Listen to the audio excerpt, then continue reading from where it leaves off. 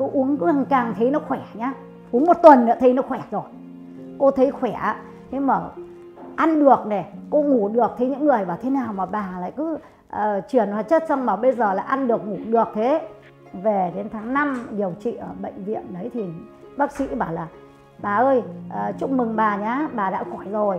Bảo bác sĩ ơi sao mà ung thư thì có bao giờ khỏi mà bây bác động viên tôi mà bác lại bảo thế? Mà cái này không phải là động viên bà nhưng cái khối u của bà không thấy đâu nữa cô rất là mừng rỡ. Không thấy đâu nữa, rất là mừng lắm. Thế là sướng. Thế đến 3 tháng sau thì cô đi khám là tháng 9 lại về ung biếu khám định kỳ. Thì bác sĩ bảo là, bà ơi, bây giờ là nghi là nó di căn lên phổi. Thế thì cô lại về, cô uống tiếp 9 viên. Xong đến tháng 4 thì cô đi khám định kỳ thì bác sĩ bảo ô bà ơi, bây giờ không thấy một cái gì trong phổi nữa. Trong phổi của bà coi tinh rồi.